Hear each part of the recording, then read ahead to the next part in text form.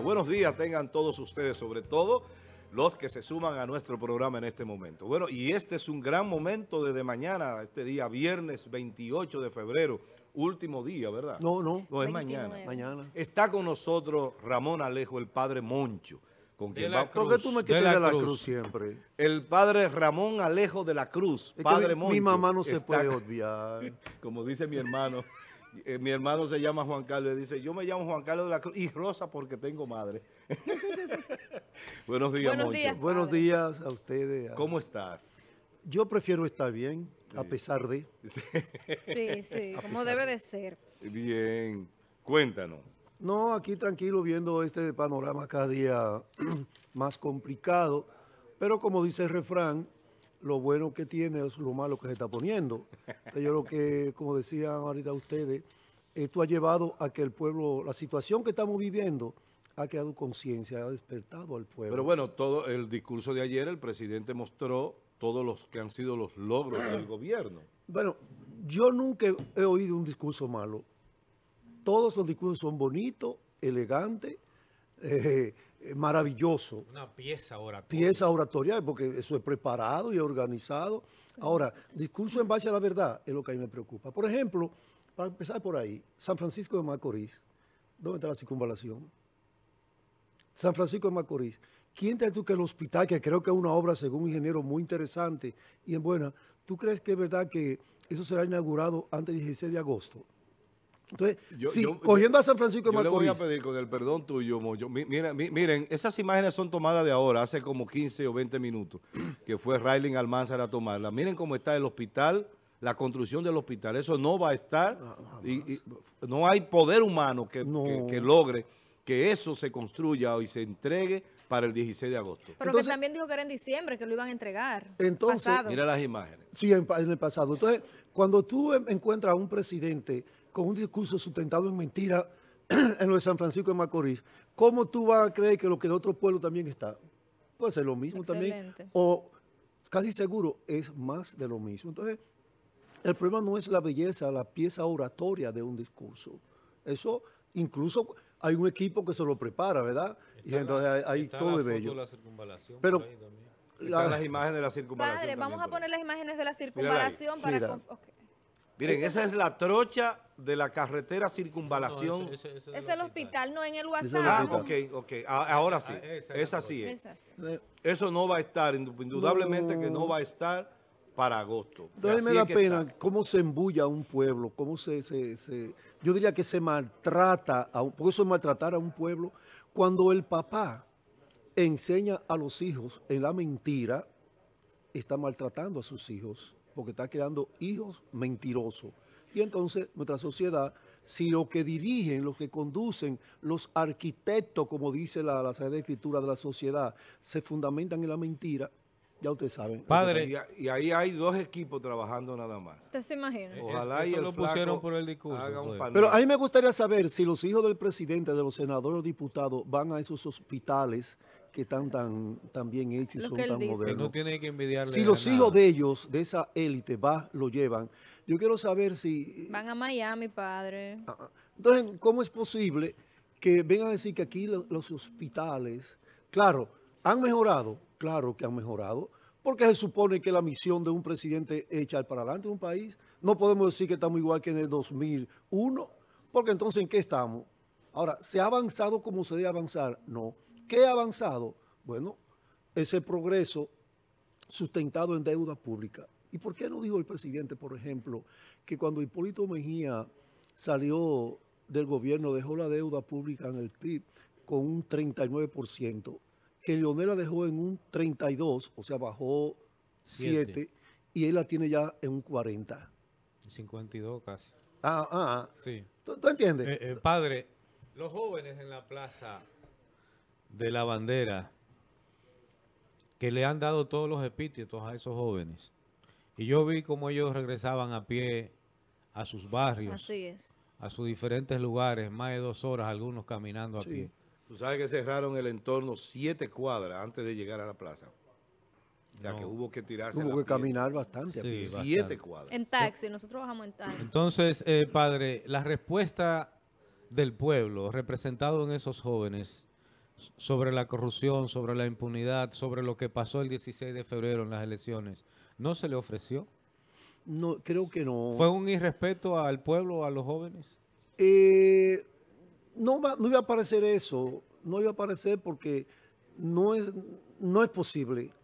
Desde el punto, usted tiene que ponerte en los zapatos del otro. No, no me voy yo a incriminar.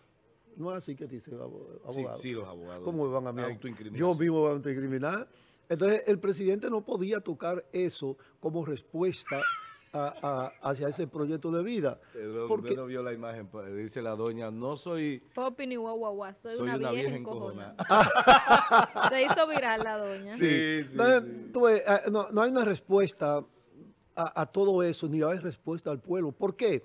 Porque los gobernantes, no, no Danilo Medina, atención, este no es un problema de Danilo Medina, todos los que han pasado nunca se ha respetado al pueblo.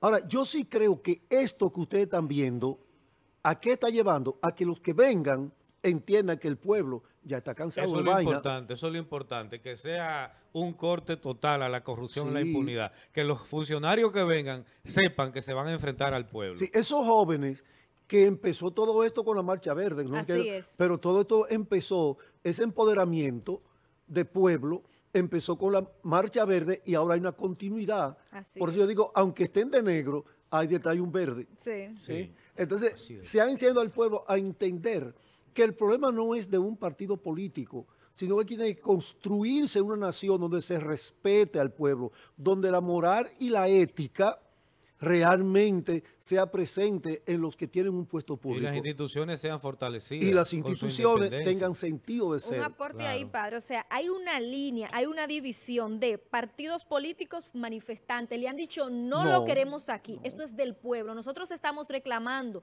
no solo al PLD o a Danilo Medina, es al que venga, a los que que, están y a los que estuvieron, porque estamos hartos. Pero a mí me da pena, Carolina, que hayan gente que todavía defienden lo indefendible. sí.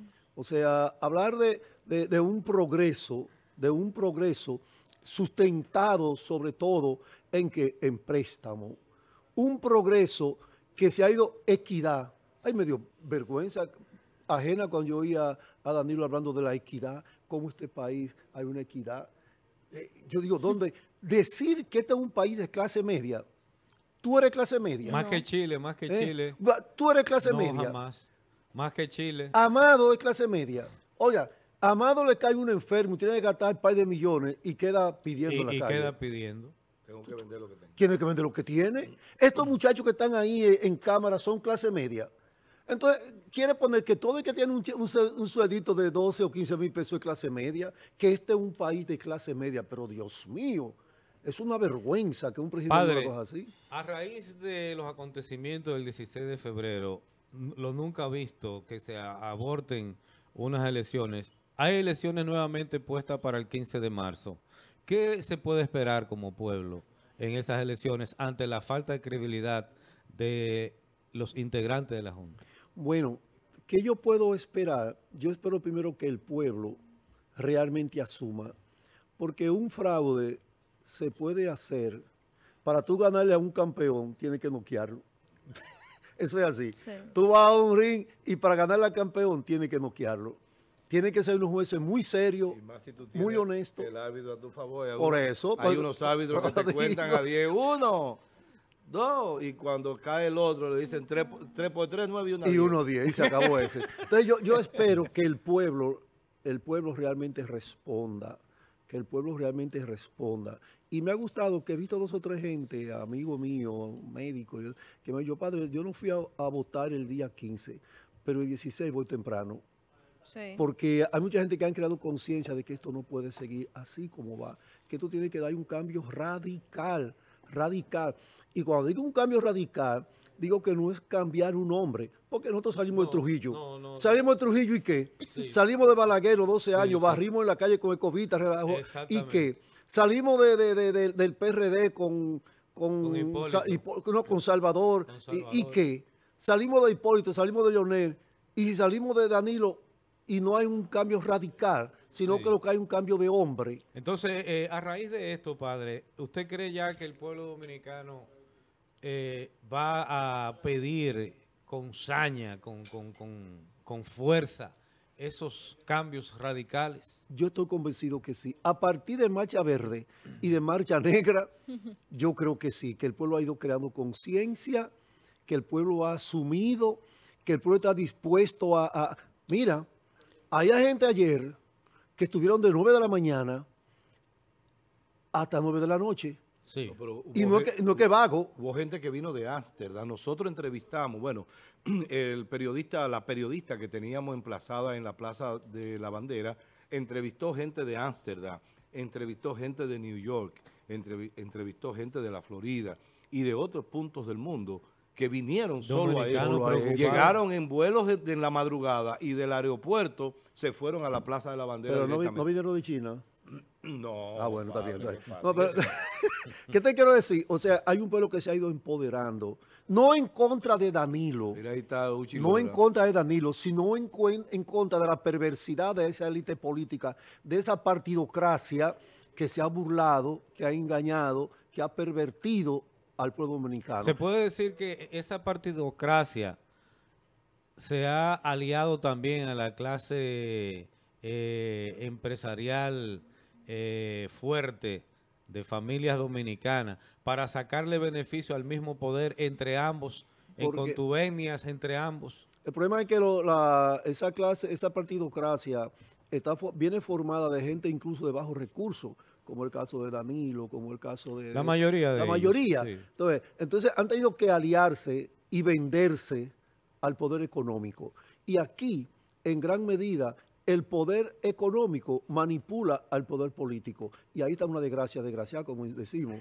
¿eh? Sí. sí, sí, porque el poder económico, ¿qué es, qué es inversión? ¿Y qué es inversión? Te doy 10 para sacar 15 o 20. Para el retorno. Es- Entonces, cuando el poder político se ha dejado manipular, se ha subyugado al poder económico, ¿eh? entonces para tú ser diputado, tú tienes o que buscar de tu propia cuenta para llegar a diputado. Entonces encontramos gente que van a una Cámara de Diputados, que invierten lo suyo, pero creo que lavando droga, dinero de droga y de eso. Ya. Oiga, así como suena Entonces sí. las instituciones son cada vez más débiles. más débiles, o tú vas a, una, a un puesto de eso sustentado, apoyado, apadrinado por unos empresarios que te llevan. Entonces, cualquier lado que llegue, sea el narcotraficante que busca ser diputado o senador para limpiar lo suyo, sea eh, el que se apadrina de un empresario para que lo sostenga, ¿qué tú puedes esperar cuando llega? Nada. Padre, eh, ante todo esto, eh, ¿cómo podríamos nosotros ver ya en estos últimos meses, en marzo, mayo, el panorama a nivel general? O sea, realmente tenemos una percepción muy negativa y más quienes de alguna forma criticamos las acciones incorrectas del gobierno, tratando de ser un poquito eh, objetivo, vamos a decir, o equilibrado. ¿Cómo podríamos ver en estos meses venideros de procesos electorales el país? ¿Qué usted... Mira, oía usted ahorita leyendo un WhatsApp que decía que el país, RD no tiene nada que hacer, no hay salida. Yo creo que no. Una vez celebrando una misa en un campo de Villarriba, me dijo una señora mayor, como setenta y tantos años, padre, aquí no hay nada que hacer. Aquí se perdió el caldo y los huevos. Y yo le dije, mire mamita, si el caldo suyo, suyo lo echaron en un plato llano, se perdió, pero el mío no lo echaron en un plato llano. Y el de muchos dominicanos no se ha echado en un plato llano. Ahora, si usted cree, se lo dije a sí mismo, textual, si usted cree que aquí no hay nada que hacer, usted cree, ¿a qué usted viene a la iglesia? ¿Para qué usted reza? Es más, a usted le conviene, ¿sabe qué? Morirse para que por lo menos oren por usted y a lo mejor dan café en su velorio. Quiero decir O sea, que no está todo perdido. No está todo perdido. Bajó con trenza el padre. Sí, sí, no. Ah, no, no, no, no. Oye, yo no ando con- ni con filosofía ni con teología. Yo no soy ni filósofo ni teólogo. Yo lo que soy es que pongo pies en tierra para ver realidades a la luz de lo que yo creo. Y lo que yo creo me dice que sí hay esperanza, Padre. porque Dios está con nosotros. ¿Qué proyección debe tener la República Dominicana a partir de los próximos meses en medio de este proceso electoral y el futuro inmediato de la República? ¿Cómo debiéramos vislumbrar el país? Bueno, este es un país rico en el fondo. Es un país con todas las posibilidades, como decía, que, como decía, Pobremente Sí, administrado. pero pobremente administrado. Entonces, ¿qué se proyecta? El día que aquí surjan y están surgiendo una clase nueva unos jóvenes que asuman con la capacidad que tienen y la tienen, unos jóvenes que sean capaces de tomar el mando y que nadie me haga mí con que la juventud, porque, ah, que los jóvenes, los jóvenes aquí son los que han hecho todo, todo el tiempo. Sí, la cosa así. buena en este país lo han Ahí hecho los la historia, jóvenes. la los historia. 176 años de independencia dominicana es producto de una juventud. La guerra de restauración fue producto de una juventud. del Incluso la de 65 65 fue una, un asumir juventud. Ajusticiamiento de Lili Entonces, fue fue en jóvenes. jóvenes. Entonces yo, yo creo en la juventud. Ahora, mi pregunta es, ¿y nosotros los viejos qué? Porque a veces, ¿a qué la juventud y los viejos qué? Esto lo hemos dañado los viejos.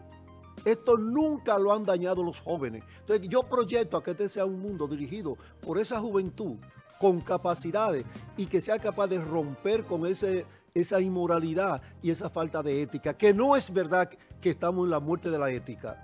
No, y que nuestros jóvenes, tenemos esos jóvenes ahí. No es verdad que aquí la mayoría de los jóvenes están pervertidos. Aquí hay muchos jóvenes, ve a las universidades, ve Sí, al centro sí, de trabajo, claro. jóvenes buscando trabajo.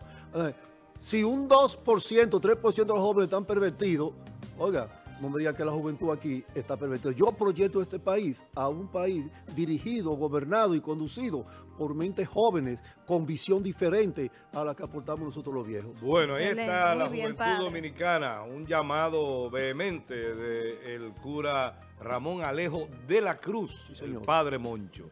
Gracias, Muchísimas padre. gracias, Gracias a ustedes. Siempre es un placer tenerte aquí, hablar contigo, discutir estos temas, ¿verdad? Y hasta que me acuse de aguilucho y tú entiendas que No, mira, el aguilucho, el- hay la- gente que, que es inteligente, pero a veces se Sí, equivoca. no, y a mí me gusta que las águilas, las águilas vuelan bien alto, pero siempre debajo de un cielo azul. Señores, vemos. Vamos, Sáqueme este hombre del aire. Muchísimas gracias, padre. Gracias, Moncho, como Gracias siempre, un placer.